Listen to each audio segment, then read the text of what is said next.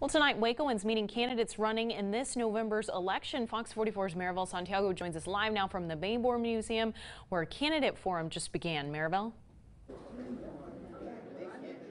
Well, Leslie, that candidate forum began about five minutes ago. As you can see, it is a very active meet and greet right now. There's at least a dozen candidates here before a set of panels. Now, this event is hosted by the League of Women Voters, and we'll have two moderated sessions. The first will begin at 7 for House Seat 56 with input from Charles Doc Anderson and Katherine Turner Pearson, followed by a second panel for the County Commissioner 2 seats. Patricia Chisolm Miller and Donis Wilson are running for that seat.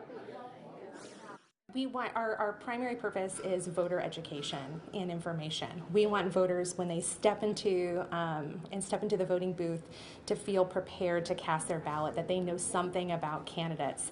And you, you get a, a lot of news about the up ballot races, about the statewide races, about the federal races. But sometimes we understand it can be harder to get information, um, somewhat you know, counterintuitively, about the candidates who are closer to home. So our goal is to provide information about those local candidates um, so that voters feel informed and prepared.